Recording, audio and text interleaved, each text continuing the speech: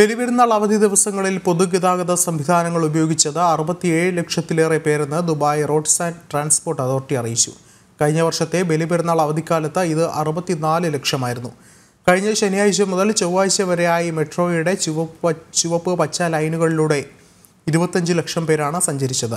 ഒരു ലക്ഷത്തി ആയിരം പേർ ട്രാമിലും പതിനാല് ലക്ഷത്തിലേറെ ആളുകൾ പൊതുബസ്സുകളിലും യാത്ര ചെയ്തു. നാല് ദിവസങ്ങളിലായി രണ്ട് ലക്ഷത്തി എൺപതിനായിരത്തോളം ആളുകളെയാണ് മറൈൻ ഗതാഗത സേവനങ്ങളും പ്രയോജനപ്പെടുത്തിയിട്ടുള്ളത്.